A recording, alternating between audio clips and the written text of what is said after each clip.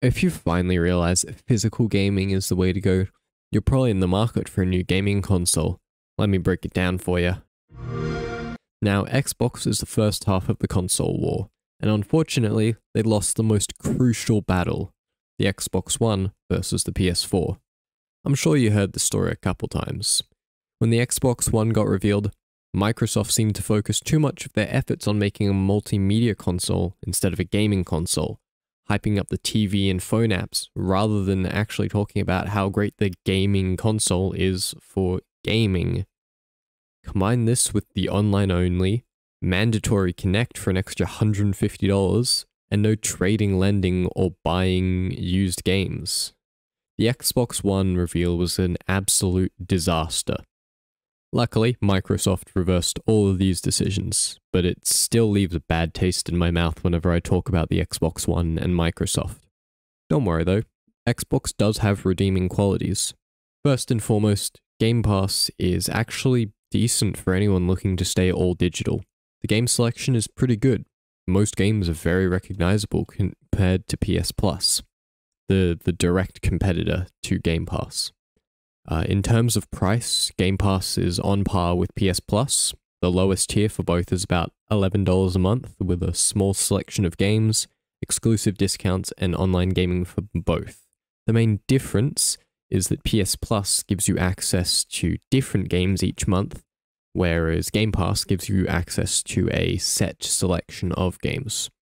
Now, in terms of consoles, the Xbox Series X is the most powerful Xbox and the main competitor to the PS5, and it has a huge leg up on them.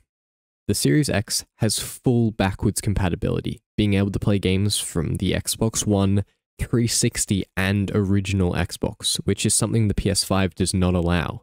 To play games from every PlayStation console, you have to own uh, both a PlayStation 5 and a PlayStation 3 original, not the slim version. Another bonus for the Series X is that it has a higher raw power, which basically means that it's theoretically better than the PS5. In practicality, however, it may not be. The other main draw towards Xbox is the selection of games. You get treated with games like the original Doom, which PlayStation has not been graced with. You also get uh, series like the Forza series, Gears of War, and many other titles owned by Microsoft. While the Xbox certainly has some positives, the negatives may outweigh the positives for some. Remember how the Series X is theoretically more powerful than the PS5? Well, many gamers have found that the Series X has run games very poorly on the Series X compared to the same game on PS5. And if you're playing games that are on both consoles and that are highly demanding, you might want to consider going for the PS5. Another huge drawback for most gamers who also own a decently powered PC is how most Xbox games are already on PC, compared to PlayStation, which has only a couple games on PC, with some of the ports being lackluster. Um, now, if this final point doesn't make you reconsider, you may just buy an Xbox. But stick around, because I'm comparing some consoles that are in a league of their own.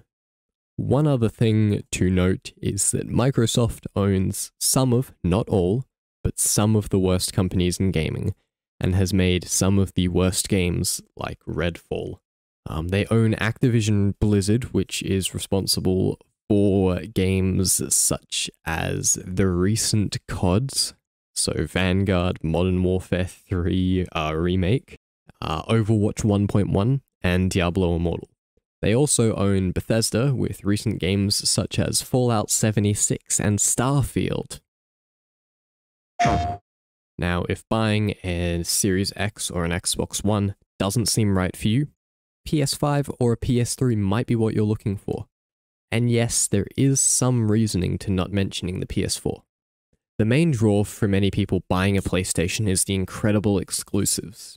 You get access to series such as Red Dead Redemption, The Last of Us God of War, Uncharted, Spider Man games Final Fantasy, Ghost of Tsushima, Ratchet and Clank, Bloodborne. And if that amazing selection of games isn't enough for you, I don't know what is. Now, hopping off the pros for a spot, the PS4 is in a bit of a weird place, as you can only play PS4 games on the PS4, which makes sense, but it means that there is no backwards compatibility at all. If you want to experience all PlayStation has to offer, a PS5 will set you back about $800 dues. Don't know what that is in American, but it's on par with the Series X. To experience the second half, the PS3 will only set you back about 100 150 bucks, which if you're buying an $800 console isn't a terrible ask. You just have to refrain from buying a couple games and you'll be able to afford it fine. The PS3, as mentioned before, is the best way to experience games from the PS3, PS2, and PS1. It's considered by many the greatest console of all time, as it's very cheap, literally anywhere, and it's really easy to mod. The community for anyone looking to buy and mod a PS3 is great too as you'll basically be able to find everything you need from other people. Now, another great part of owning a PlayStation is, at least to me, the controllers feel so much better than Xbox, which seems to be a controversial opinion, but I will stick with it. However, PlayStation is not without criticism. The crossplay is mediocre. Yes, you have crossplay on games that support it. However, Xbox has a huge selection of games that are crossplay only with PC, and that is a huge advantage for Xbox. Another major criticism I have for PlayStation is the aforementioned lack of backwards compatibility. You can only play certain PS3, 2, and 1 games that have been specifically remastered for PS4. However, this has been overshadowed by the insanely good PS3, which basically eliminates the need for this critique. However, it is a legit issue as many people don't want to own multiple consoles. Nintendo is in a completely different league. Instead of bragging about their capabilities of the consoles, being able to run the latest games at 4K 60 FPS, they prefer innovation. Super Mario 64 pioneered 3D games, the Wii with its motion sensor controllers, and the Switch doubling as a handheld and a home console. The Switch is the most powerful Nintendo console, with some of the best games that can only be played on Switch. Breath of the Wild, Tears of the Kingdom, Mario Odyssey, uh, Animal Crossing New Horizons. The Switch has an amazing lineup of games, and it is best suited to family gaming, I reckon.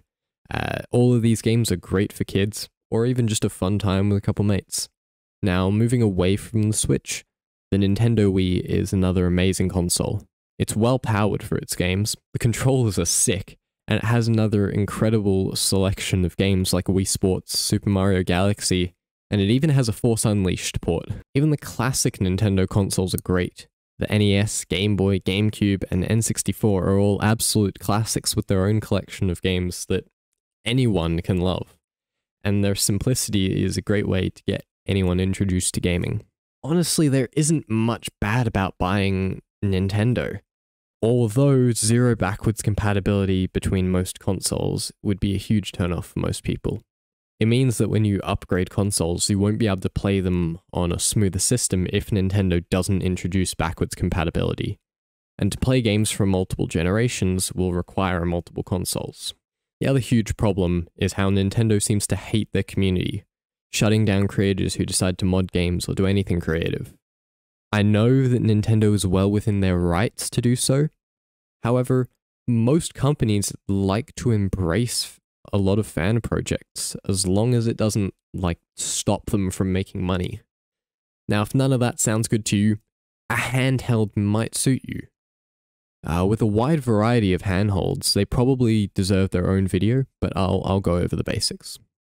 The Steam Deck and ROG Ally are both handheld Windows based gaming consoles to play PC games. The PS Portal requires you to own a PS5 and you don't play games natively, you stream them onto the PS Portal. Phones are great for mobile gaming, however, they're rather expensive and you should probably get a controller if you're going to play on a phone and the Retroid Pocket 3 Plus and Analog Pocket are both retro gaming handholds. Now, if you've chosen what console you want to grab, you might want to check out this video about a hopefully upcoming game.